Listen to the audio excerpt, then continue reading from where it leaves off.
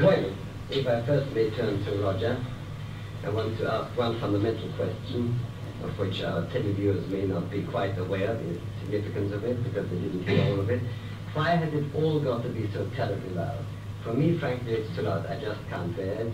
I happen to have grown up in the string quartet, which is a bit softer. So, uh, why has it got to be so loud, so amplified? Well, I don't guess it has to be, but I mean, that's the way we like it. And uh, we didn't grow up with a string quartet, and I guess that could be one of the reasons why it is loud. And it doesn't sound terribly loud to us. It's actually not everybody who hasn't grown up in a string quartet turns into a loud pop group, so you're really not altogether convincing. But I accept that you like it. What I'm saying is that if one gets immune to this kind of sound, one may find it difficult to appreciate softer types of sound. Syd, yes? No?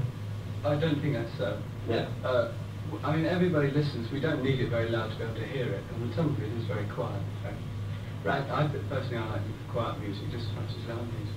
We play in large halls and things where, where obviously volume is necessary, and when people dance, like uh, volume, you know, comes in uh, on its own. But uh, well, that's interesting. You see, when people dance, you did start, if I'm not mistaken, as a group which accompanied dancing. Is that it? Yeah, you could say that.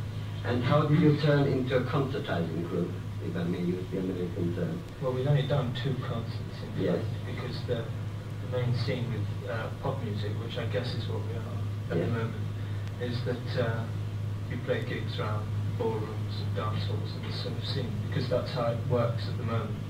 But uh, we felt that was no real reason, you know, why we shouldn't do a, an organised concert in a large hall where people came to sat and actually listen to what we do, because uh, dance halls, generally speaking, are not very good places to actually listen to the music. Most people come along and the music, for most of them, has been, over the past few years anyway, just a sort of background noise that they can jig about to and so, sort of, you know, Were those two concerts successful?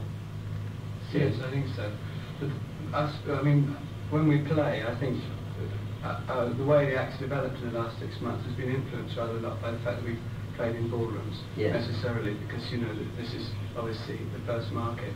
But I think uh, concerts have given us a chance to realise that maybe the music we play isn't directed at dancing necessarily like normal pop groups um, have in the past. Have you encountered any hostility Um, towards your creation? Well, yes, we have, but I mean, I guess there's been quite a lot of hostility going on in other places in the country. I mean, the only hostility we've actually seen, of course, is that which has hit the national press and things.